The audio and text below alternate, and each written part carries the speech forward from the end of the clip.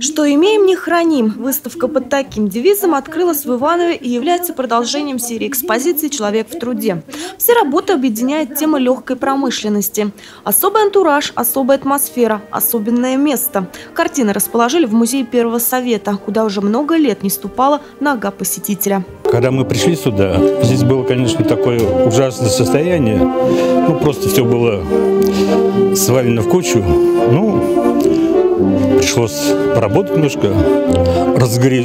Разгребли все ненужное, убрали, оставили только то, что нам могло пригодиться. Вот из того и сделали эту экспозицию. А что получилось, вам судить. Это работа ивановских художников, написанные в разные годы. Полумрак в зале позволяет зрителю остаться с картиной как бы наедине, вспомнить, почувствовать, представить, как эти фабрики жили.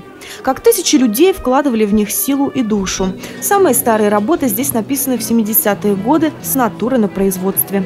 У нас есть одна работа, сделанная э, Константином Борисовичем Васильевым на производстве, на текстильном производстве в прошлом году. Это, наверное, одна единственная работа, э, поскольку когда писали с натуры на производстве, невозможно было найти текстильные фабрики. Грусть навевает и эта инсталляция. Карта Иванова. Флажками отмечены фабрики. А рядом современные фотографии и что стало – как Красная Талка, комвольный комбинат и фабрика 8 марта превратились в торговые центры. Впрочем, ностальгировать можно бесконечно. Ситуацию нужно менять.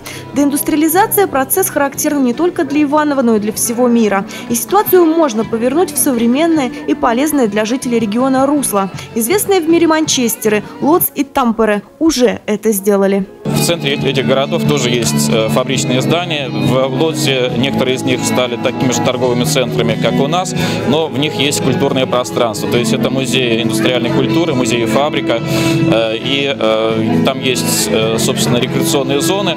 А вот в Тампере, там практически весь центр – это две большие, если сказать, огромные фабрики, фабричные пространства, которые стали базой для нескольких десятков музеев. Другой вопрос, хватит ли у Иванова креативных идей, сил и финансов, чтобы подарить фабрикам новую жизнь и сохранить то, что имеем. Елена Белова, Андрей Семиволков, РТВ Иванова.